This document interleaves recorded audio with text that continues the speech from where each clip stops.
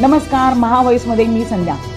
हिंगणघाट येथे काल दिनांक दोन नोव्हेंबरला रात्री आठ वाजताच्या सुमारास कवडघाट रेतीघाट परिसरातून अवैध रेतीची उकल करून रेती तस्कर निशाणपूर वार्ड परिसरातील मंदिराजवळच्या रस्त्यावरून जात असल्याची माहिती स्थानिक महसूल विभागात कार्यरत तहसीलदार यांना मुखबीरकडून मिळाली असता त्यांनी आपल्या विभागातील तीन पटवारी यांना सदर अवैध रेतीची तस्करी करत असलेल्या वाहनाला पकडून कायदेशीर कारवाई करण्यासाठी पाठवली असता पटवारी यांना हिरव्या रंगाचा ट्रॅक्टर त्यांना निशाणपूर विभागात आढळून आला.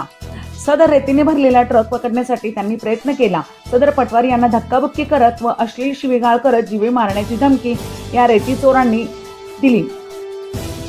व तसा प्रयत्नही वाहन चालकाने आपल्या वाहनाची गती वाढून पटवारी यांच्या अंगावर नेण्याचा प्रयत्न केला. व त्यांना जीवे मारण्याचा प्रयत्न केला.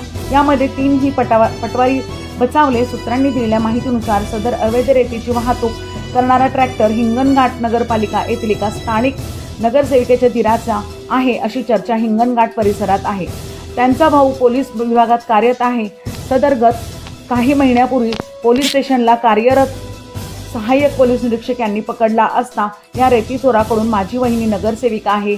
भाऊ पोलीस विभागात आहे. माझे पोलीस विभागातील व महसूल विभागातील अधिक कर्मचारी काही बिघडवू शकत नाहीत अशी दमदाटी केली असता सहाय्यक पोलीस निरीक्षक सदर रेती चोरांकडून वीस हजार रुपये घेत सदर वाहन सोडून दिले होते. काल रात्री घडलेल्या घटनेमुळे महसूल विभागातील अधिकारी व कर्मचारी वर्गांमध्ये भीतीचे वातावरण निर्माण झाले आहे व पटवारी यांना जीवे मारण्याचा प्रयत्न करणाऱ्या तस्कर प्रशासन तस्करांवर प्रशासन काय कारवाई करते यावर हिंगणघाट जनतेचे लक्ष लागून राहिले आहे.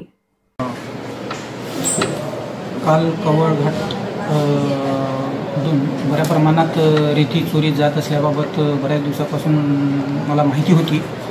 त्यानुसार मी माझ्या तीन पटवाऱ्यांना तिथून चोरी करणाऱ्या रेती चोरी करून घेऊन जाणाऱ्यांना पकडण्यासाठी पाठवलं होतं. एक गाडी पकडण्यात आली होती. गाडीला नंबर नव्हता. परंतु पटवाऱ्यांना सदर वाहन मालकांनी वाहन चालकांनी धक्काबुक्की करून वाहन पळवून नेले. त्यांना त्यांच्यावर पुन्हा कारवाईचा बडगा आमचा असेल. त्यांना पकडल्याशिवाय आम्ही सोडणार नाही. असा काही गाडी वगैरेचा काही कलर वगैरे माहीत आहे? एक हिरव्या कलरचा ट्रॅक्टर होता। नंबर नव्हता त्यामुळे ते घेऊ शकलं नाही. आगे की कार्रवाई क्या करोगे आप? अगर वो मिलता है तो? अगर मिलता है तो उस पर दंड होगा.